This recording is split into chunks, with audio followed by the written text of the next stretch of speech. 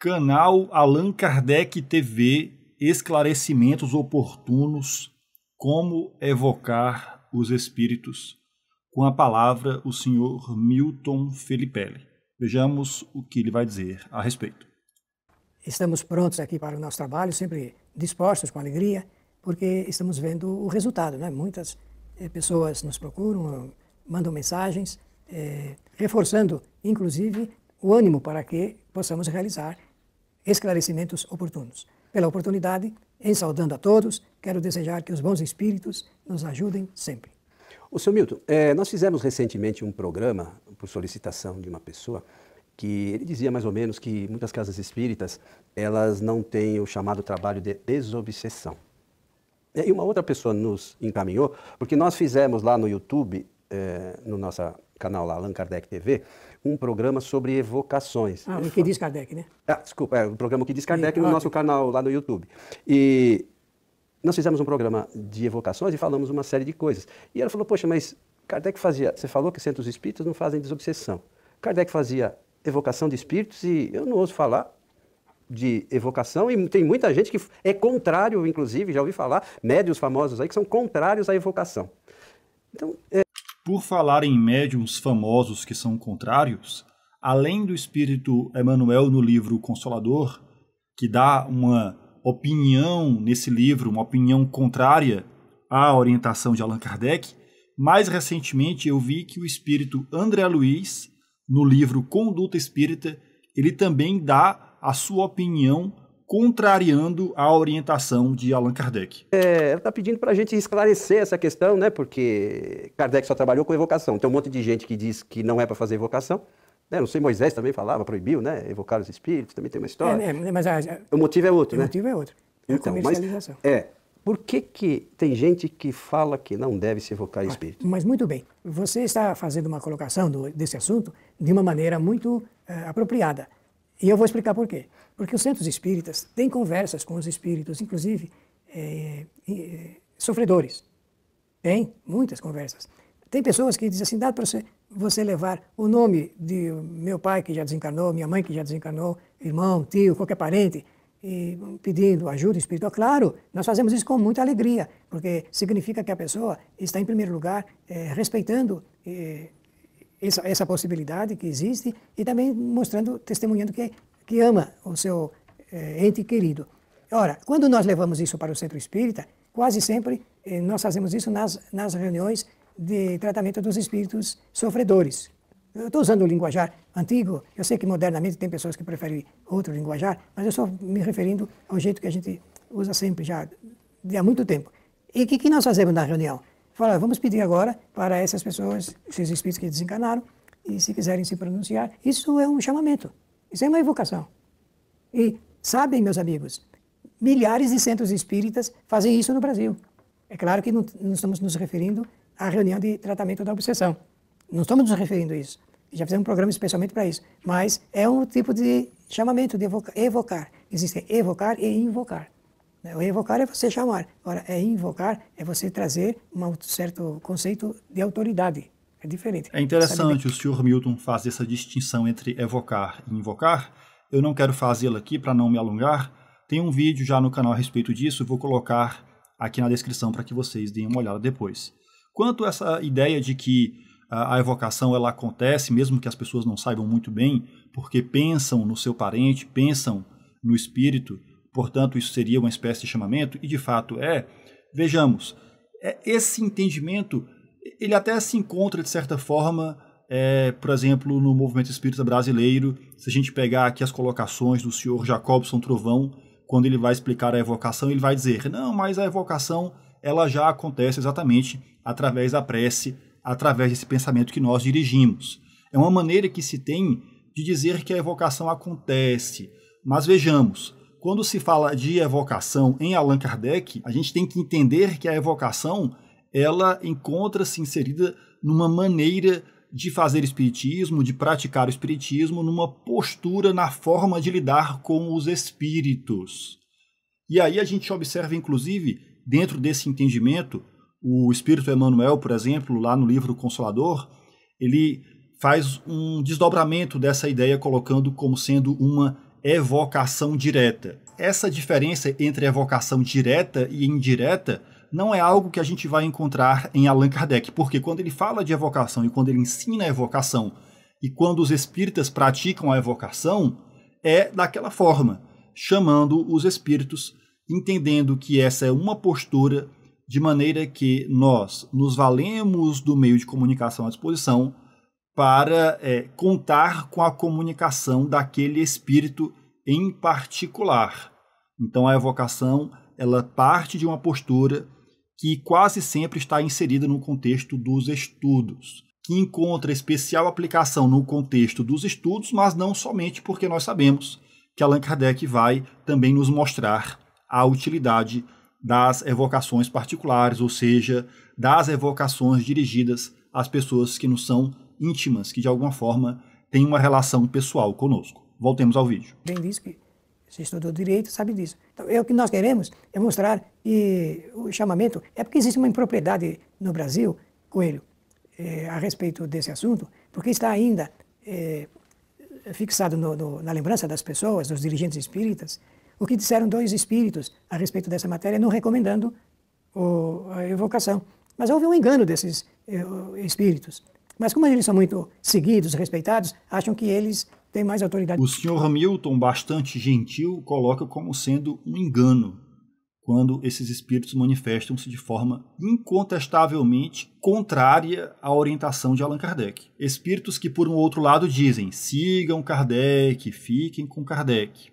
Kardec não pode ter, né? Que os espíritos superiores, né? É, que os espíritos superiores não podem ter. Ao contrário. Kardec é muito claro nesse particular, nesse capítulo. Você nem mencionou ele ainda, né? Não, nem mencionei que é o capítulo 25, 25 do, livro dos, do, do livro dos Médios. Depois, para interessante, quando a gente dá a referência aqui, a gente faz isso para que as pessoas depois possam né, dar, uma, dar uma lidinha ou estudar o que os espíritos superiores ensinaram. Se Importante o que a gente está falando é condizente com o que os espíritos superiores ensinaram ou não. mas a gente pode estar tá se equivocando também. Então, é, se os espíritos superiores. Ó, eu, vou, eu vou ler aqui, ó, começa considerações gerais, né? Tem lá o iníciozinho, chama das evocações, o capítulo. Os espíritos podem se comunicar espontaneamente ou virem ao nosso chamado, quer dizer, pela evocação. Precisa. Não, não precisaria, né? né precisa falar mais alguma coisa? Não, não precisaria. Né? Mas como a maioria acha que o que um espírito deu de. É, o, que, a, a, o que ele acha, o que um espírito falou, o que ele pensa sobre isso, é a diferença é do que os espíritos superiores dizem. Então, você vê que é o contrário. Então, Será que não podem os dois ser Série verdade? razão. Então, e se isso aqui é, é, espiritismo, o que esse outro espírito falou não pode ser espiritismo. É, e o que esses muito e por falta de prática da evocação, ninguém ousou perguntar ao espírito por que ele foi contrário a Kardec. Então vejamos, em adotando a orientação de Allan Kardec, o método seria seguido daquilo que nós podemos chamar muito bem de kardecismo, para pegar o espírito e dizer: opa, peraí, ele está dizendo algo aqui que se choca com a experiência, com o estudo, com o trabalho de Kardec. Senhor Espírito, por favor, venha à nossa reunião. Então, se faz a evocação com esse objetivo, e a partir disso a gente tem a oportunidade de estudar com o Espírito. Então, vejamos a utilidade que a evocação tem no âmbito dos estudos, uma vez que ela proporciona essa dinâmica que nos tira de uma passividade em relação àquilo que os espíritos dizem, ao ponto de poder confrontá-los, ou seja, de oferecer a contradita em cima daquelas opiniões que eles manifestam. Não se fez isso em relação a esse espírito e a opinião dele, ela estabeleceu uma mentalidade contrária à orientação de Allan Kardec, ao ponto de ao se fazer a leitura desse capítulo, como nós observamos já naqueles estudos do Sr. Jacobson Trovão, a leitura é feita, mas ela é o tempo todo conformada a uma mentalidade para dizer que não é mais assim, então isso é coisa do passado, e aí todos aqueles argumentos que a gente conhece, sempre no entendimento de que a gente não faça isso, etc. Os médios falam sobre não evocar, não tem nenhuma relação com o espiritismo. Então eles estão falando de algo que não é espiritismo. É, Kardec levanta, começa levantando a pergunta: devemos evocar os espíritos? É interessante, né? Ele fala: não tem relação com o espiritismo. E aí a gente entende o porquê do kardecismo. Não tem relação especialmente com o kardecismo, que é essa maneira de fazer espiritismo, de desenvolver a doutrina orientada por Kardec. Espíritos. Ele, ele escreve, sim, devemos evocar os espíritos. E vai fazer, então, a série muito apropriada de considerações, e essas considerações são doutrinárias. Agora, os que dizem não, não devemos evocar, devem ter suas razões, mas isso não é doutrina espírita. Como nós nos levantamos perante o público é, para fazer palestras, com 10 pessoas, 100 pessoas, mil pessoas, duas mil, três mil. Ou na internet, né? Ou na internet, que são milhares, nós temos que ter responsabilidade doutrinária. Então temos que dizer o que diz a doutrina espírita. Por isso que o nosso programa chama-se lá, na internet, o que diz Kardec. Isso aí. É, você sabe, Milton, é, muitas dessas pessoas, por não conhecerem a doutrina Deixa eu fazer aqui um pequeno comentário a respeito da figura do Sr. Milton. Que como nós estamos vendo aqui, o trabalho também aqui do Coelho é um trabalho que se dedica e valoriza a obra de Allan Kardec. Né? A gente observa algo importante. Né? É, são pessoas, e aqui eu vou me referir mais especialmente ao Sr. Milton, pela idade mais avançada, são pessoas que, se não fosse pela internet, eu, particularmente, não teria tido contato. Vejamos como o movimento espírita brasileiro ele é muito fechado é, nos espaços, nas oportunidades de que pessoas como o Sr. Milton tenham uma projeção maior, maior no sentido do alcance, alcance esse como a internet proporciona. Espírita, elas não têm ideia propriamente de, de o que pode ser uma evocação. E lá no programa nós falamos. Imagine quantas pessoas você conhece que gostariam de receber uma psicografia ou que buscam centros espíritas é, querendo receber uma psicografia de um ente querido. Mesmo não sendo espírita, hein? É, mesmo não sendo espírita, e, e, depois não se tornando espírita, recebendo a psicografia e não dando a menor continuidade nos estudos espíritas. Mas, mesmo assim, elas buscam. Milhares. E quantos centros espíritas se propõem a fazer isso? Muitos. Está é, aumentando cada vez mais. Por quê? Porque isso chama atenção, né? É, mas doutrinariamente, às vezes, não ajuda muito, mas chama atenção. Então, é importante ressaltar. A medida... O que não seria nem necessário, né? Porque com um pouco de dedicação, de estudo, de seriedade dedicada ao estudo do Espiritismo, as pessoas poderiam investir seu tempo, suas reflexões, a fim de elas próprias se descobrirem médiums ou um médium na família e por conta própria tomarem essa iniciativa sem criar esse vínculo de dependência com qualquer instituição que seja. À medida que a gente vai ao centro espírita buscando a psicografia desse ente querido, então a gente, quando está se conduzindo para lá, eu vou lá no centro espírita, eu quero receber a psicografia daquela pessoa que eu muito amo. E a gente não entende uma outra questão que a doutrina espírita ensina é com relação ao nosso pensamento. E o pensamento nosso é que vai a essa pessoa, não é da pessoa lá do centro, porque a pessoa não sabe nem quem é. Eu quero receber, por exemplo, uma psicografia da minha avó. Chega lá o nome, Esther Santana Moraes que era a mãe da minha mãe, por exemplo. Quem é Esther Santana Moraes? Mas eu vou lá pensando, olha, eu quero receber a psicografia da minha avó. Portanto, está chamando. Você está evocando aquele espírito. Então também é uma bobagem dizer que o telefone só toca de lá para cá. É, isso é engano, né? É engano total, né? Engano, inclusive no telefone. então, quando a Deixa gente... eu fazer aqui um complemento em cima dessa analogia. Não está acontecendo evocação, por quê? a postura ali não é uma postura que visa o controle da situação. Para todos os efeitos, há várias pessoas presentes na reunião manifestando essa mesma intenção, portanto, querendo que o seu ente querido se comunique. Mas para o médium, para os médiums, para o dirigente da reunião, isso é transparente, ou seja, eles delegam esse controle aos bons espíritos. Para eles, o que ocorre são manifestações espontâneas.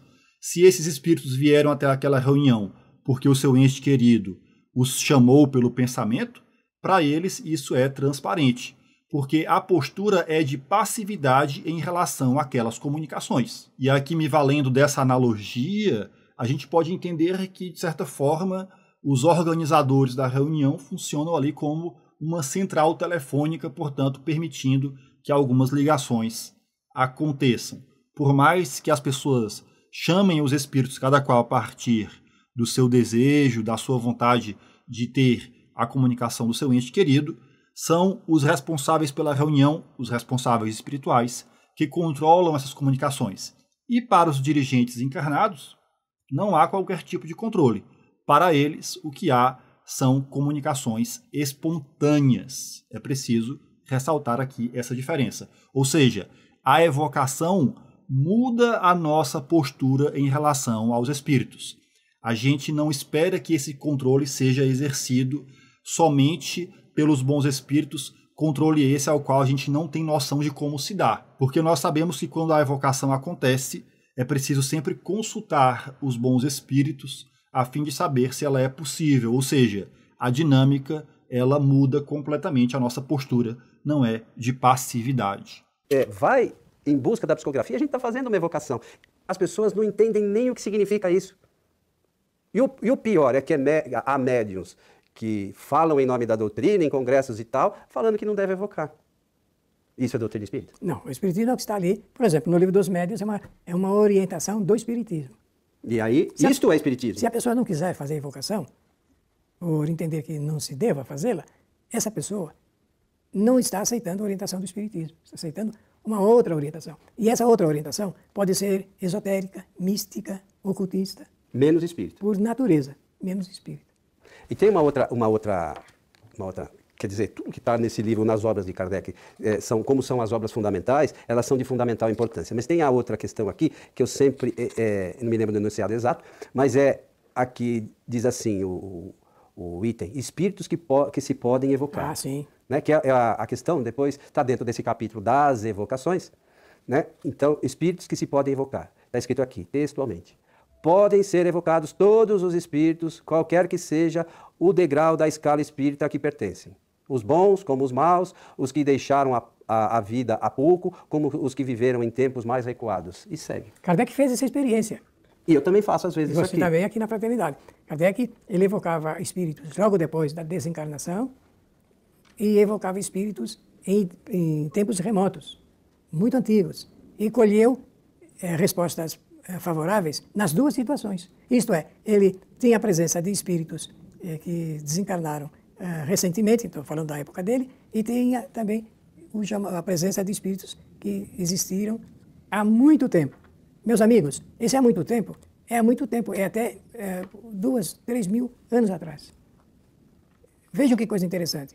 E como o chamamento ele era com o melhor sentido de comprovar a imortalidade, a vida possível do espírito naquela situação espiritual, ele colheu isso favoravelmente o testemunho de espíritos, fez a, o registro, as narrativas e o depoimento dessas criaturas.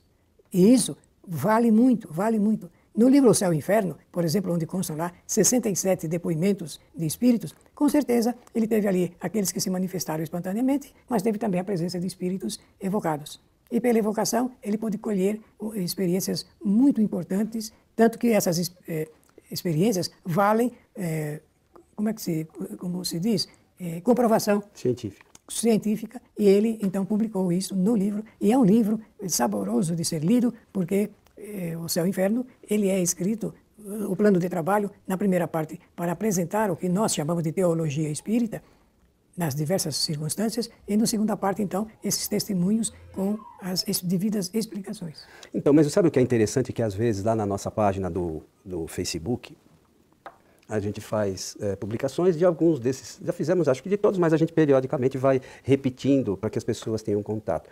E, lamentavelmente, Milton, é, muitos leem e, e dizem assim: ai, que história legal. É, só fica Não. nisso, né? Pois é, mas a coisa é mais séria. Aquilo é um relato de um espírito que, que Allan Kardec apurou, e aquele relato tem uma razão de ser, ou algumas razões de ser, para estarem colocados no conteúdo do livro Céu e Inferno, para a gente dali extrair conhecimentos, né? coisas que podem ser importantes para a nossa caminhada, e as pessoas acham que é uma historinha legal. É, não é não.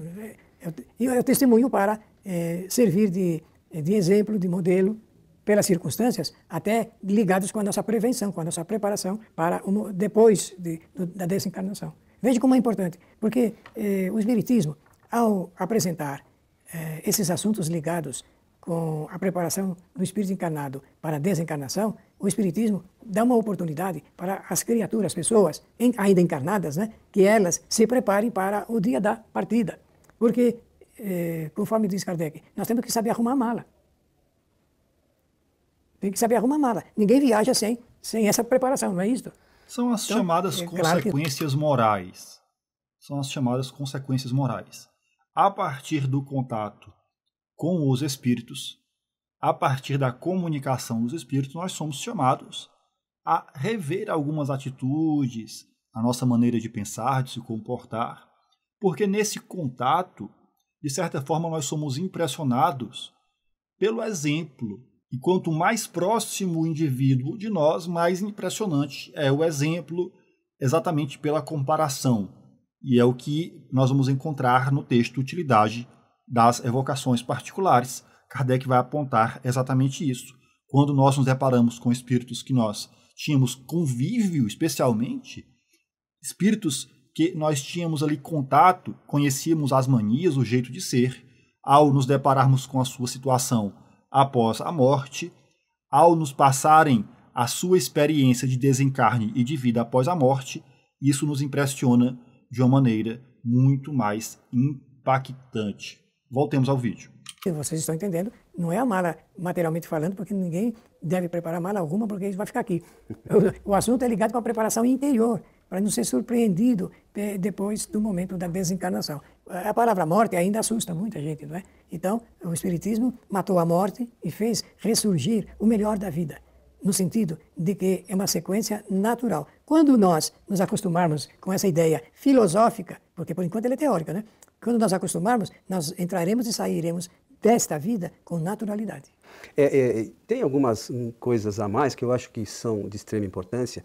É, é a gente se preparar para o futuro, mas vivendo o presente de uma forma melhor. Oh, com certeza. A gente esquece que é, a nossa vida hoje é resultado de experiências no passado. E, e, a vida de ninguém aqui hoje é um mar de rosa dos encarnados. Poucas são as pessoas que podem dizer que, olha, minha vida é boa, que não tenha problema nenhum. Se não tivesse problema nenhum, nem encarnado tá. É Começa daí. Então, o, a gente tem que entender primeiro que o objetivo principal da nossa encarnação é ganhar conhecimento. E a gente não sabe. A, gente, a maioria acha que está aqui a passeio. Tem um amigo meu que fala, ah, eu estou aqui a passeio, não vim a serviço. E é o contrário, nosso objetivo principal é ganhar conhecimento. E a doutrina espírita traz todo esse manancial de conhecimento que vai fazer, com toda certeza, a diferença para a gente no futuro. O problema é que a gente precisa entender o que a doutrina espírita nos traz. E a doutrina espírita, vamos falar de novo, estão nas obras fundamentais trazidas por Kardec. Não é romance. Né? O romance é, é, é, o que o espírito. Ele fala o que o espírito acha. É a mesma coisa que uma novela na televisão. Eles fazem aquela, aquela monte de. É, criam um monte de situações para atrair as pessoas. E no romance é a mesma coisa. Você cria um monte de situações para atrair o leitor. Só que assim, aqui não é verdade. Aqui é uma situação é obra de ficção. Tá? É. Se vocês procurarem lá sobre romance espírita, vocês vão ver que o romance espírita é uma obra de ficção. E a gente às vezes confunde o romance como sendo o retrato da verdade do mundo espiritual, que não é. Esse é o nosso engano. Então, por falta de não ter o conhecimento doutrinário necessário, a gente se equivoca nessa e na questão, sobretudo, das evocações, que é de fundamental importância para o entendimento nosso da doutrina. Porque Kardec fez uma série deles. Se as casas espíritas se preocupassem realmente em ver se isso que está escrito aqui é verdade, estudariam as obras fundamentais e fariam as evocações. Fala, bom, peraí, vamos chamar. Deixa eu só dar um pequeno complemento, porque muitas vezes o movimento espírita brasileiro passa a ideia de que só Allan Kardec fazia as evocações por estar investido de uma missão especial, portanto, só ele tinha autoridade para aquilo. Essa é uma falácia, como nós já demonstramos aqui em várias oportunidades. A prática da evocação era uma prática generalizada, exatamente porque os espíritas seguiam a orientação de Kardec. Chamar os espíritos aqui para ver que se isso é verdade ou é mentira. E não criar ilusões de espíritos que vem que fala que come, que bebe, que fuma, que quer fazer sexo, cria uma série de ilusões que não existem. E a gente acha que é verdade porque está escrito no romance. Nós estamos brincando de casinha, né? É, realmente... Está na hora de a gente acordar para a doutrina espírita. A coisa é muito séria para a gente ficar brincando com isso. E sabem por quê, meus amigos? Porque vai restar é, duas situações. A primeira, a gente deve aprender agora. O melhor é dizer o seguinte: ou aprende agora, ou terá que aprender depois. Por quê? Esse depois é quando nós evocarmos para sessões espíritas, ou quando não.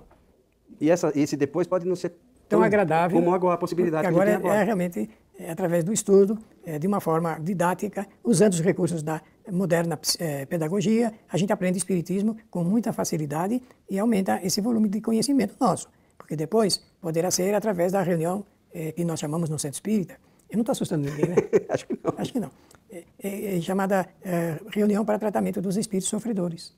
o que vai realmente nos custar ali muito mais. Então, agora, conforme está propondo o Antônio Coelho, de uma forma agradável, nós podemos aprender o Espiritismo que nos revela eh, os dois lados da vida. Este lado de encarnado, porque nós estamos encarnados, e o outro lado, que é o lado do, do lado de desencarnados. Conforme diz o Espiritismo, porque o Espiritismo tem uma denominação, o Espiritismo chama de erraticidade, um estado do espírito depois de sair do processo da encarnação. É, encarnado e em estado errático. Né? Encarnação e erraticidade são os dois estados que o espírito pode se encontrar. Isso mesmo. Então, é, é, Só tudo outro isso... complemento, porque nós já temos um vídeo a respeito disso. Esse entendimento relativo ao que é o espírito errante é um entendimento que só se popularizou em razão de uma errata que não foi reproduzida nos textos de Kardec. Digo, nas edições seguintes dos seus textos, das suas obras. Portanto, o conceito que se popularizou foi esse. Tem vídeo a respeito disso também, vou colocar aqui na descrição. Por falar em vídeo, vocês devem ter notado agora aí que nós temos aí dois recadinhos, né? Deixe o seu like, ative o sininho.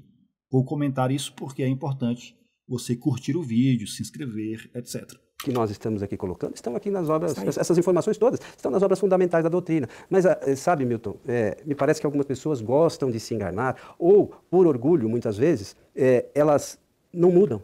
Preferem ficar acreditando na, na, mentira do que realmente buscar a verdade. E como a gente já falou aqui diversas vezes, o, o espírito mais perfeito que já teve aqui no planeta falou: conhecereis a verdade e a verdade vos libertará. Então, esse é o ensino dos espíritos superiores. É essa a verdade que a gente quer ou vai continuar marcando passo? Cabe a cada um, né? O, Com certeza. Que tem as leis naturais, tem o livre-arbítrio. Isso mesmo. Isso cada mesmo. um que escolhe o seu caminho. Isso mesmo. Estamos chegando ao final de mais um programa, seu Milton. Agradecer a atenção generosa de todos, desejando-lhes que os bons espíritos nos ajudem sempre é, lembrar mais uma vez do nosso canal no YouTube, o Allan Kardec TV. É, lá vocês poderão rever todos os nossos programas, poderão assistir também ao vivo as nossas palestras às quartas-feiras, toda quarta-feira à noite. E podem assistir ao vivo, semana sim, semana não também, o programa que nós fazemos, que chama-se O que Diz Kardec, também com esse mesmo, mesmo objetivo de divulgação da doutrina.